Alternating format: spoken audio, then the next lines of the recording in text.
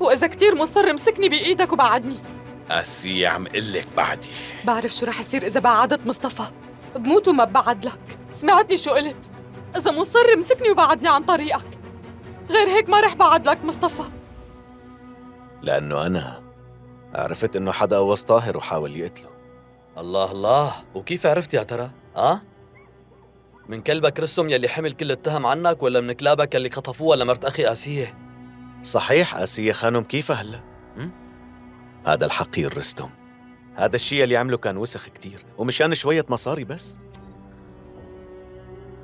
بليت كلابك بالجريمة اللي عملتها وطلعت منها ببساطة.